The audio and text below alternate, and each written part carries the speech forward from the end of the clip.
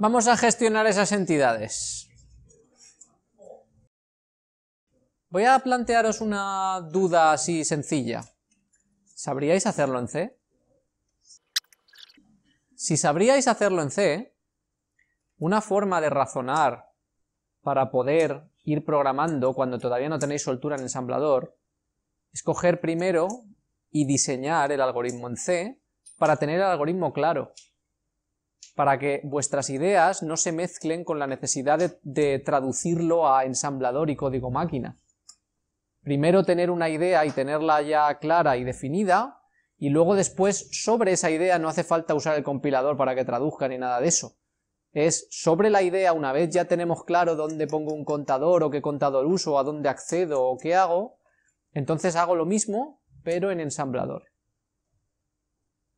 Vamos a, a empezar. Tengo aquí mi vector de entidades, ¿vale? Tengo mis 10 entidades en mi entity vector y ahora lo que voy a crear es una función que me sirva para hacer una nueva entidad.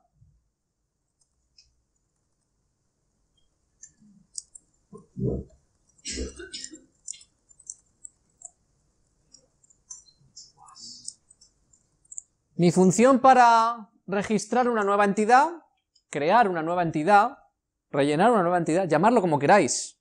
Al final tengo espacio y lo que tengo que hacer es decir, ahora tengo una más. ¿Qué tiene que hacer?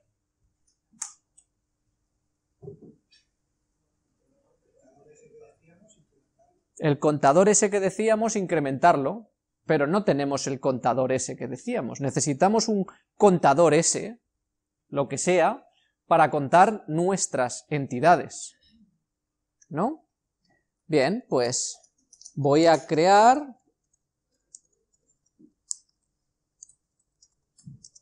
una etiqueta, la llamo mnumEnt, que es para número de entidades, y el m subrayado delante es una costumbre del C++, de tener mis variables miembro con una m delante, pero bueno, podéis llamarlo una costumbre. Necesito espacio para entidades y aquí cero, no tengo entidades, cero. ¿Sí? De paso voy a aprovechar para definir mi máximo de entidades como una constante.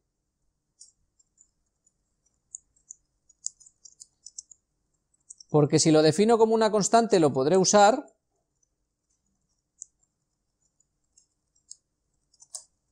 y luego será más fácil si en algún momento tengo que cambiar, pues decidir que quiero 15 o 20 entidades o las que sea, pues cambio la constante, y Santas Pascuas.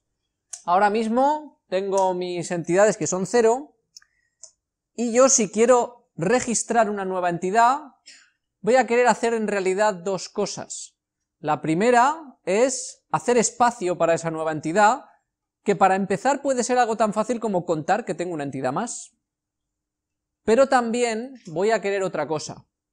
Y la otra cosa que yo voy a querer es a aquel que me ha llamado y me dice créame una nueva entidad, devolverle un puntero a esa entidad por si quiere hacer algo con ella. Eso es algo útil. Yo creo una nueva entidad y devuelvo el puntero. De modo que aquel que crea la nueva entidad no necesita saber si la entidad es la primera o la número 10 en el vector, sino que simplemente recibirá en un registro de vuelta un puntero a esa entidad por si quiere hacerle cosas como ponerle valores, o llamar con ella a algún otro sitio, cambiarle lo que sea, hacer algo con esa entidad. Claro, para eso necesito usar punteros y estas cosas, necesito usar direcciones de memoria, y necesito tener en cuenta que si estoy ahora mismo reservando espacio para dos entidades y cojo la tercera, pues yo tengo que devolver el puntero a la tercera entidad del vector. Si quiero devolver el, puntero a la primera entidad del vector es fácil, es el entity vector. La etiqueta entity vector está reflejando la dirección de memoria donde está el primer byte de mi vector. Esa la devuelvo con la primera y ya está. Si quiero la segunda, sería esa más el tamaño de una entidad. Y esto me lleva a otro problema, el tamaño de una entidad. Que ahora mismo el tamaño de una entidad son 9 bytes, pero mañana podrían no ser 9 bytes mañana podrían ser 20, porque he añadido. Eso lo veré después. De momento, voy a tener en cuenta que el tamaño de la entidad, lo voy a poner aquí, luego ya veré qué hago con él.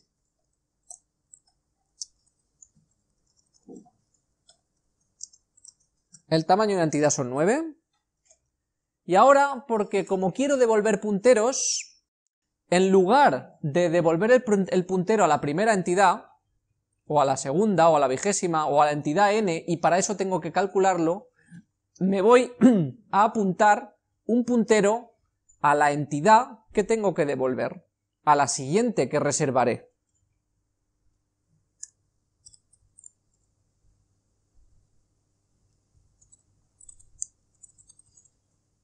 Por ejemplo, lo llamo mNextEntity. Y esto es un puntero que inicialmente apunta a entity vector. ¿Por qué? Porque entity vector tiene la dirección de memoria del primer byte, o lo que es lo mismo, del, donde empieza la primera entidad del vector. Así que ahora mi next entity cuando alguien haga new es esa.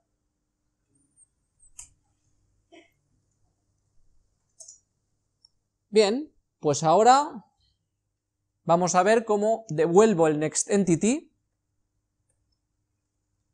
Por ejemplo, ¿no? ¿Qué hemos dicho? Que lo primero que hay que hacer es, para hacer una entidad nueva, es decir, que ahora en vez de cero tengo una, ¿no? ¿Cómo lo hago? ¿Cómo lo hago? A ver, alguien, tú no. Alguien que me diga, ¿cómo hago para decir que ahora en vez de cero tengo una?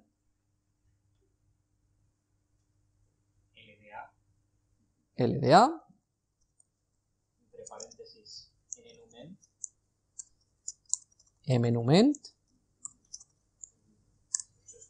CP. CP, ¿por qué? Para comparar que no tengas Ah, luego, luego, luego. si me paso, si me paso rompo la memoria, no pasa nada. Da igual, ahora de momento no vamos a hacer comprobaciones, vamos a lo básico, las comprobaciones luego. Inc A. Y LD, entre paréntesis en el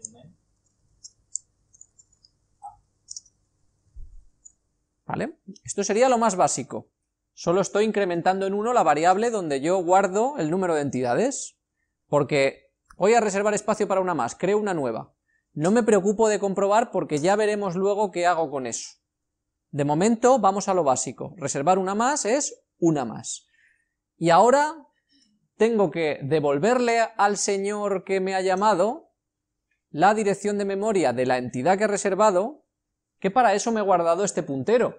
Pero este puntero además, a mNextEntity, ahora también lo tengo que actualizar para que apunte a la siguiente, porque será la que devolveré cuando me vuelvan a llamar.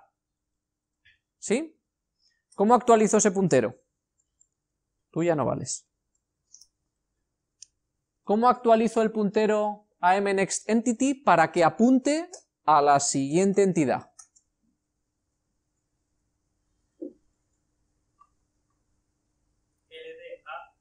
¿A? ¿LDA? AF. LDAF no existe no puedo usar LDAF. LDHL. ¿Qué? ¿Coma? Sin paréntesis. Sin paréntesis.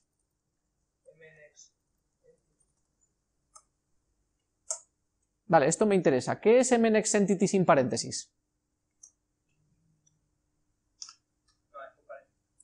La pregunta la hago para todos. ¿Qué es mNextEntity sin paréntesis? Es una etiqueta. Las etiquetas son un símbolo que referencia la posición de memoria donde hemos puesto la etiqueta. Esta posición de memoria de aquí, cualquiera que sea cuando esto se ensamble, que es una posición donde estamos guardando dos bytes que llevan a su vez otra posición. Esto es un puntero. Si yo cojo esto, la dirección de memoria que cojo no es la que hay guardada aquí, sino la de donde estoy guardando eso. Esto podría ser la dirección 1000 y tener aquí guardada la dirección 5000. La de entity vector es la que yo quiero, no la de mNextEntity. Quiero coger de esa dirección lo que contiene, porque esa contiene la dirección de entity vector. Así que ahí quiero el paréntesis para cargar lo que ahora pone como entity vector, no la etiqueta mNextEntity. ¿De acuerdo?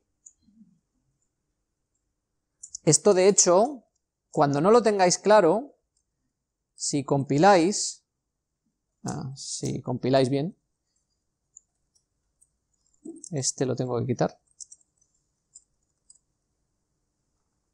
y compila, claro, que todavía no. Vale, sí, porque me los crea todos como con número. No, no he creado ninguna. Bueno, también puedo hacer esto. Para no poner el cero, pues le defino una, una etiqueta y ya está. E, están en el mismo sitio. Entity vector 0 y entity vector. Cuando compilo, como he estado haciendo yo hasta ahora, si edito el entity.lst, veréis que podéis ver exactamente lo que hace uno u otro. Fijaos, si yo me vengo arriba, y me refiero a subir arriba, no a otra cosa, si yo me, vengo aquí arriba, veréis que cuando define entity vector 0, ¿vale? justo debajo de mi etiqueta entity vector, en el mismo sitio, entity vector 0 y entity vector valen 0. ¿Vale? Los dos. Y luego tengo mi definición mNextEntity, que la veis aquí. mNextEntity vale esto, 006D porque esto es relativo al fichero, es la posición en código máquina del fichero donde está entity, next entity, ¿vale? Esta etiqueta vale 006D y su contenido ahora mismo es 00, que es entity vector. Si yo lo que quiero es el contenido, este, entity vector, tengo que poner el paréntesis. Si yo no pongo el paréntesis obtengo esto, que es lo que vale la etiqueta. Lo que vale la etiqueta es la dirección de memoria, lo que hay aquí es el contenido de la memoria. ¿De acuerdo? Ahí se ve más claro, si lo miráis. Cuando tengáis dudas, miradlo y lo veréis. Y aquí veis que si pongo mNextEntity entre paréntesis, fijaos, el 006D, que es, estoy cogiendo de esa posición de memoria, porque la instrucción 2A es la que hace que HL coja de esa posición de memoria, mientras que si no, esta de aquí no sería 2A, sería 21. ¿Os acordáis? 21 es para cargar en HL un valor inmediato. Si yo pongo la 21 es sin paréntesis y entonces cargo ahí 006D. Si pongo la 2A, cargo en HL lo que haya en 006D, que ahora mismo es 00. ¿Vale? ¿De acuerdo? Bueno, después de esto, ya sabemos que tenemos que ponerle el paréntesis porque lo que quiero es lo que hay, lo que hay en la posición de memoria mNextEntity, ¿vale? Y ahora que ya lo tengo en HL, ¿qué hago? Puedo cargar en A el tamaño de la entidad.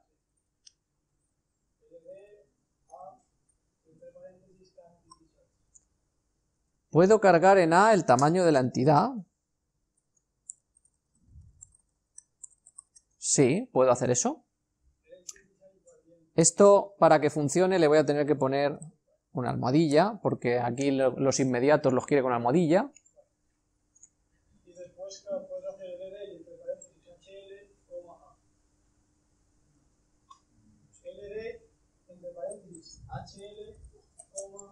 Y esto qué haría? No.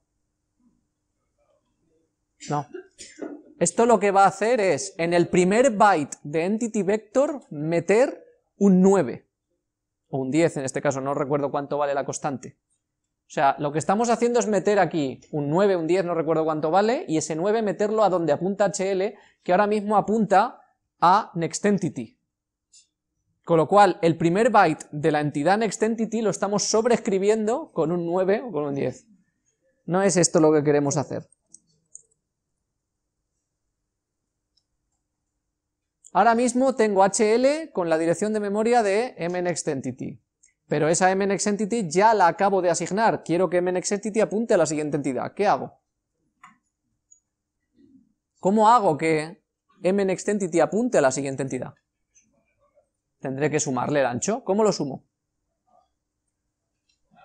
Con, con add. ¿Y qué hago? ¿Add qué?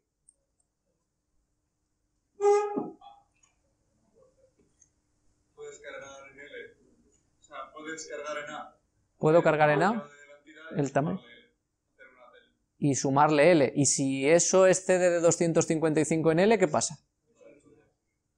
¿Vale? Porque puedo hacer esto, efectivamente. Puedo hacer esto. De hecho, podría sumarlo en L, pero bueno, puedo meter en L K entity size. Ahí. Y podría a continuación sumarle L.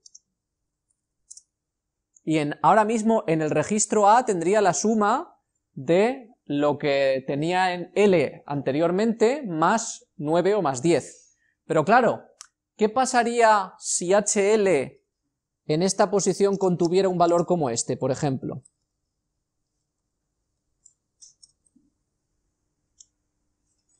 Imaginaos que eso es lo que contiene HL. Y esto, por tanto, es L. ¿Qué pasa si yo a FF le sumo 9? Queda un 0,8, sí, pero solo se lo he sumado a L, lo tengo en A, me quedaría un 0,8. Si no modifico H, que por ejemplo el siguiente paso aquí, lo lógico sería hacer esto, porque la suma, la suma esta se me queda en A, no en L. Esto es A igual a A más L. ¿De acuerdo? Así que eso lo muevo a L, pero claro, si esa suma me ha dado 8, acabo de sumar, hacer esta operación, esto más 9, y el resultado que ha dado es este. Algo falla, ¿no? Si hacemos eso, vamos a destruir la memoria. Porque fijaos que si yo a continuación de 10FF tengo los valores de memoria que quiero usar, y eso va a parar a 1108, si en vez de eso me da 1008 y devuelvo ese puntero a alguien para que lo use, 1008 está antes de donde empieza mi vector, en otra posición de memoria se lo doy a alguien para que escriba, escribe ahí, y adiós lo que quiera que haya. Madre mía, sí. Madre mía es lo menos que nos puede pasar en una cosa así. ¿Qué tenemos que hacer para evitar este problemilla? Una pregunta, en teoría, cuando hace eso, el Sí. flash del acarreo se activa. En teoría sí, se, acarrea, o sea, se activa el flash del acarreo, sí. Correcto. No me hace falta un if realmente. cargas en B1 en D6 y haces la suma de HL con D. Dime. En DC Ah, digo, en DC suena a, a una marca de cómics. En B1 el valor de. el tamaño de la entidad y entonces haces el HL de. Vale, esa es otra solución que hubiera sido más lógica, pero ahora que estamos aquí, si yo lo que quiero es que en el caso de que haya acarreo se le sume también a h, lo que puedo hacer simplemente es meter h en el acumulador y añadirle 0, pero ADC, que es con carry. Es decir, sumo 0 más el carry a h, y entonces el resultado como lo tengo en A, ¿vale? Esto se puede hacer más óptimo, ya aviso, se puede hacer con menos pasos y con menos bytes, pero bueno.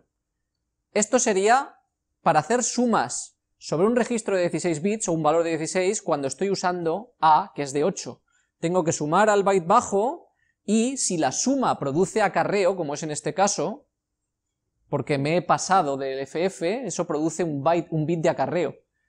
Lo siguiente que hago es sumar ese acarreo al byte alto. Y entonces estoy haciendo la suma completa. Si en algún momento lo tenéis que hacer, que os puede pasar que tengáis que hacer este tipo de sumas, pues tener en cuenta eso. Si no, lo más fácil es utilizar lo que se puede con HL. Hay dos registros que fácilmente se le pueden sumar a HL de forma directa, y son BC y DE. Yo puedo cargar en BC el tamaño y directamente hacer porque HL es el único registro aparte de A que nos permite hacer este tipo de operaciones. Y no las permite todas, solo algunas.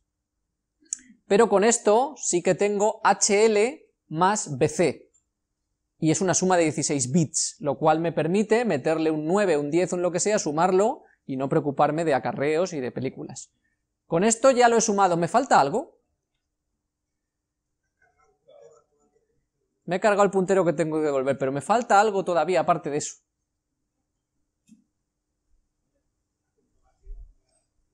Me falta algo más. ¿Qué me falta? ¿Qué no he hecho? ¿Eh? He actualizado los registros, con esto sumo HL, que es un registro, pero no estoy actualizando mNextEntity, que es donde lo guardo. Yo realmente lo guardo aquí. Y ahí tengo que guardarlo. Lo he leído, lo he actualizado el valor en un registro, pero no ahí. Ahí no lo he escrito en memoria. Tengo que escribirlo en memoria. Así que ld mNextEntity, hl. Y ahora sí, he leído de la memoria, he hecho los cálculos y he escrito en la memoria para guardar ese valor.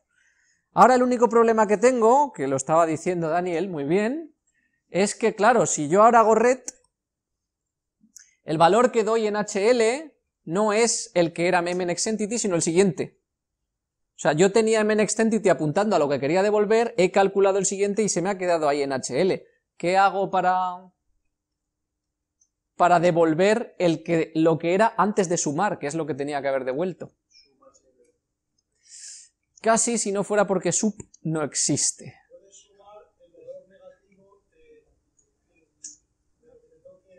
Podría sumar el valor negativo, lo cual es correcto, ¿vale? Una forma de restar en HL es sumar el valor negativo que yo lo puedo hacer. Es una constante, la pongo en negativo, si sumo el valor negativo, esto he sumado, he restado, HL se queda como estaba y por tanto es lo que devuelvo, lo que, lo que tenía inicialmente en mi variable, y mi, y mi variable la he dejado actualizada. Otra opción que puedo hacer en este caso, en vez de sumar en negativo volviendo a cargar, es utilizar algo que a veces es un poco más arriesgado, que es SBC. No existe sub para hacer sub HLBC, pero sí existe SBC que es restar con acarreo, se resta BC y el acarreo. Y para esto digo que es arriesgado porque lo que tenemos que hacer es asegurarnos en todo caso de que el acarreo está como nosotros queremos. Es decir, si ahora mismo hay un 1 en el acarreo, restaremos uno más de lo que queremos, y si hay un 0 restaremos exactamente lo que queremos. ¿Cómo podemos asegurarnos de si hay un 0 o un 1 en el acarreo.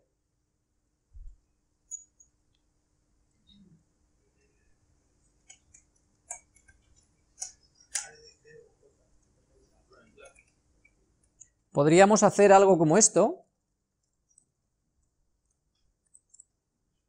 Esta operación le suma 0 a A, con lo cual lo deja como está, no le hace nada, pero la suma de 0 a lo que sea no va a dar acarreo nunca con lo cual dejará el acarreo en cero. ¿Hay alguna forma más fácil de dejarlo en cero? Porque estos son dos bytes.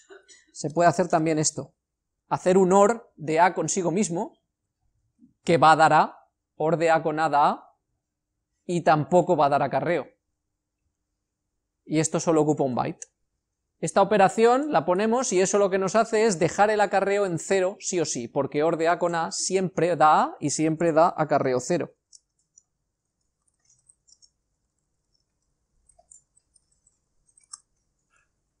Y así, si hacemos eso antes del SBC, nos aseguramos de que el acarreo es cero y por tanto es como si fuera sub.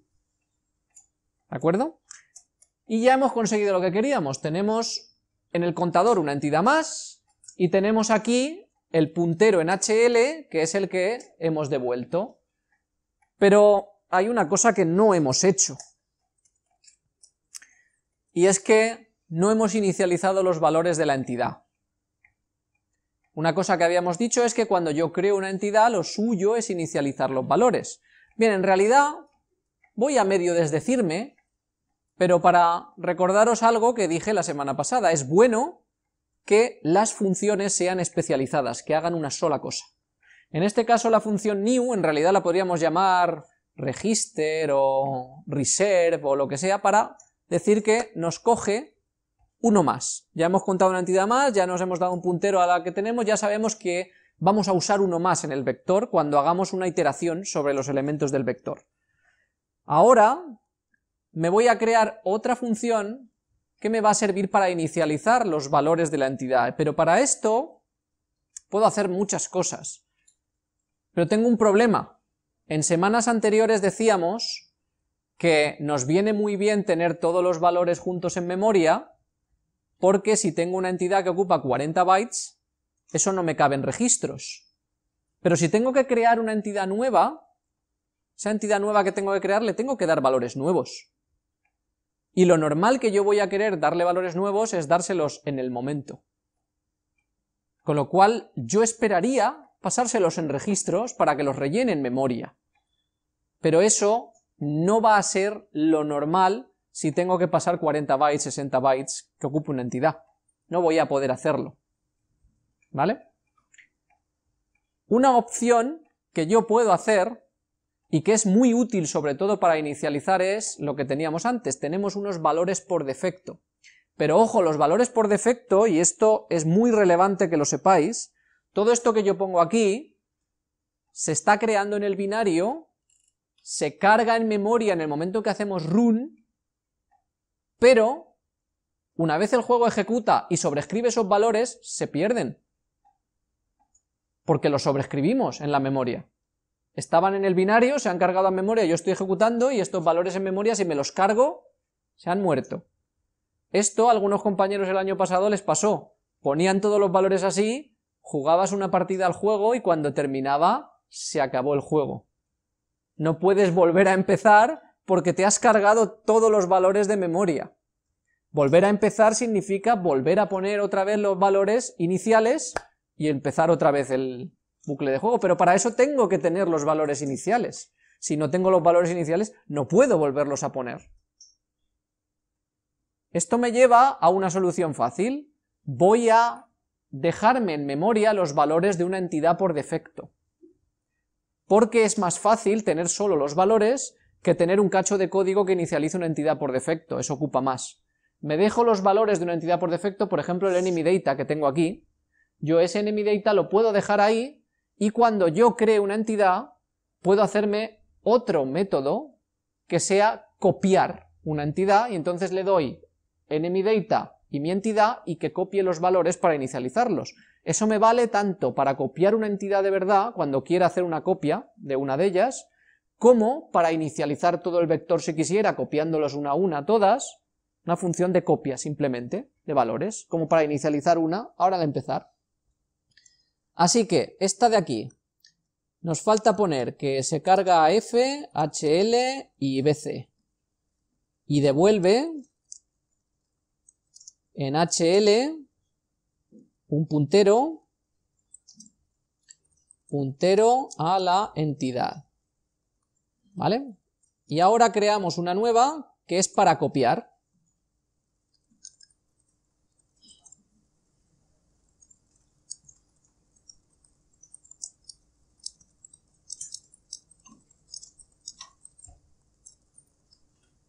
Y para esta, como copiamos valores de una entidad sobre otra, lo suyo es que los valores, o las entidades, nos los dé en dos registros de entrada. ¿Qué registros vamos a utilizar para copiar de una entidad a otra? Tú no me digas nada. Alguien que me diga qué dos registros podemos usar para copiar valores de un sitio a otro de memoria.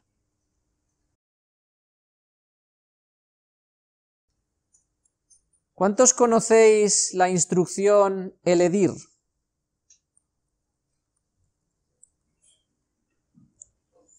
Cuando alguien hace, asumo que no la conoce, ¿no? ¿Cuántos conocéis esta instrucción? ¡Wow! ¡Qué exitazo! Esta instrucción deberíais estar usándola ya, porque esta instrucción lo que hace es lo siguiente. Asume que HL está apuntando a un sitio en memoria y DE a otro, y que BC contiene un tamaño. Y lo que hace es, va leyendo DHL y copiando en DE y aumentando hasta que BC llega a cero. Usa BC como contador de cuántos bytes hay que copiar, HL como el puntero fuente y DE como el puntero destino. Así que le damos a eso y copia, ras, una ristra de bytes en memoria. Si tenemos en HL un puntero y en DE otro, y le ponemos en BC lo que queremos copiar, de HL a DE, copia todo lo que pongamos. Así es que... No, se los carga.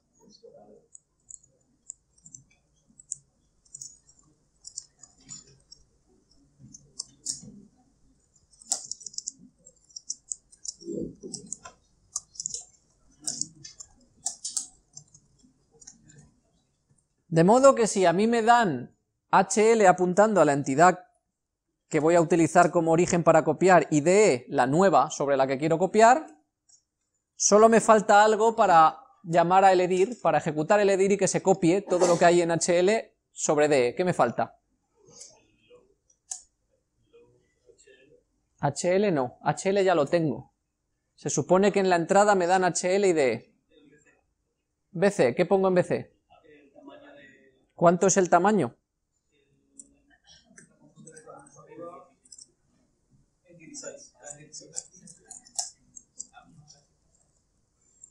Ya está.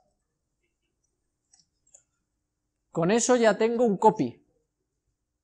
Tengo un puntero apuntando a la entidad que quiero copiar, de la nueva entidad sobre la que voy a copiar, el tamaño que copio es eso, el edir. Ras, se copian los bytes de un sitio a otro. Listo, ni más ni menos. Con esto, yo ahora puedo traerme aquí para que sean globales. Entity copy, entity new.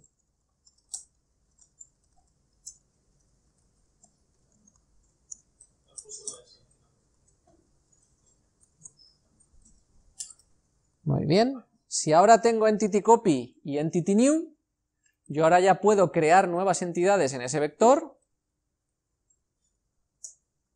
solamente haciendo así.